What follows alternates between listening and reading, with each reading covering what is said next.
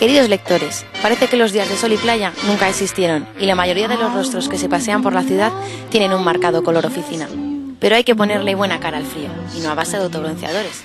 Basta con sonreír, tomarse una taza de chocolate caliente de vez en cuando y leer una buena historia. En un arco iris en la noche, Dominique Lapierre, encandilado por Sudáfrica, recoge su historia durante los últimos tres siglos.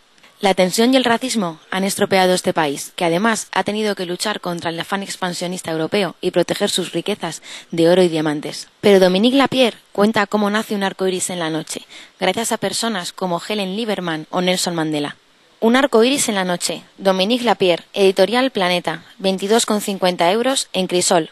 La infanta republicana, además de una aparente contradicción en términos, es la nueva novela de José María Zabala. Una biografía sobre la típica vida de Eulalia de Borbón, tía de Alfonso XIII. Una obra que te conquistará. La infanta republicana, José María Zabala, editorial Plaza y Janés, precio Crisol, 18,50 euros. Es un libro con polémica. Cuenta la vida de Malena Montoya que recuerda muchísimo a la vida de Isabel Pantoja. Gitana, ¿tú me quieres? Es la nueva aventura editorial de Mila Jiménez. La autora ha dado la cara y no niega que existan personajes con una base real, pero la mejor manera de descubrirlo es leerlo. Su argumento está plagado de traición, de ambiciones y de saltos de cama.